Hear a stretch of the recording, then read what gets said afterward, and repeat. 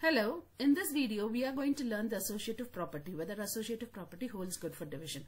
So these are the values I've taken. So let's see 1 divided by negative 1 divided by 2 equals 1 divided by negative 1 divided by 2. Now let me use the left hand side first.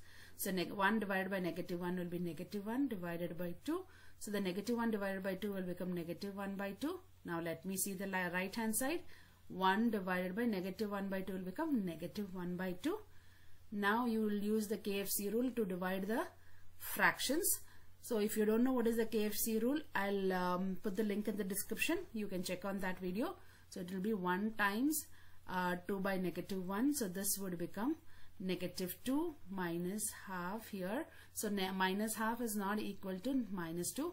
So associative property does not hold good for division. Thank you.